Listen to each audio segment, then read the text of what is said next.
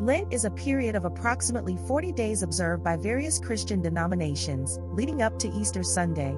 It begins on Ash Wednesday and ends on Holy Saturday, the day before Easter Sunday. The duration of Lent is symbolic of the 40 days that Jesus spent fasting in the desert, as recounted in the Gospels. Lent is important for Christians as it is a time of reflection, penance, and preparation for the celebration of the resurrection of Jesus Christ on Easter Sunday. It is a season of spiritual discipline, self examination, prayer, repentance, and fasting.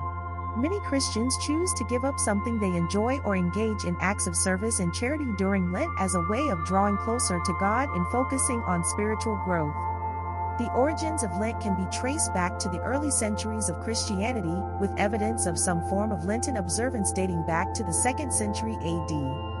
However, the specific practices and duration of Lent have evolved over time, with the 40 day period becoming standardized in the Western Christian tradition by the Council of Nicaea in 325 AD.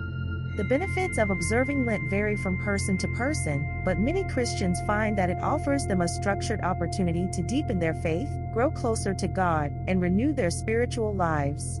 It can also serve as a time of personal discipline and self improvement, as well as a period of solidarity with those who are less fortunate through acts of charity and service.